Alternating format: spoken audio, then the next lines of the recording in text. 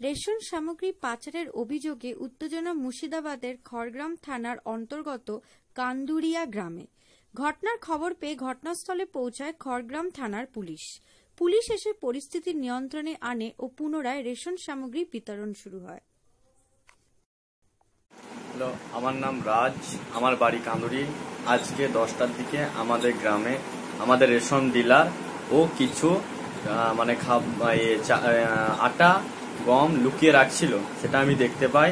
তো সেটাকে আমি ভিডিও করে এভিডেন্স হিসাবে রাখি। তো তারা আমার ছবি তোলা দেখে সেই গম আটাগুলো আবার পুনরায় তাদের গোডাউনে নিয়ে যায়। বাট তার একটু পরে বিডিও সাহেব, জয়েন্ট বিডিও সাহেব এবং বড়বাবু সেখানে এসে উপস্থিত হন। তাদেরকে আমি এই প্রুফগুলো দেখাই।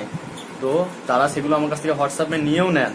তো তাদের চলে যাওয়ার পরে তারা বিভিন্ন লোক, তাদের ফ্যামিলি মেম্বার্স মিলে আমার ওপর আমাদের বাড়িতে প্রচুর ঢিল ছড়ে, আমাকে মারার চেষ্টা করে, কিন্তু আমি লুকিয়ে যাই। তো তারপরে এইভাবে যে এটা চলছে, মা সাধারণ গরিব মানুষকে লুটছে, তো এটা জানে যাতে বন্ধ হয়, তাই আমি প্রশাসনের কাছে আবেদন করছি। আর প্রশাসন যেন এই ডিলারের বিরুদ্ধে একটা কড়া পদক্ষেপ নেয়, সেটাও আমি চাইছি। আর যে এভিডেন্সগুলো আমি পেয়েছি, সেগুলো আমি আপনাদেরকে দিয়েছি। ধন্যবাদ।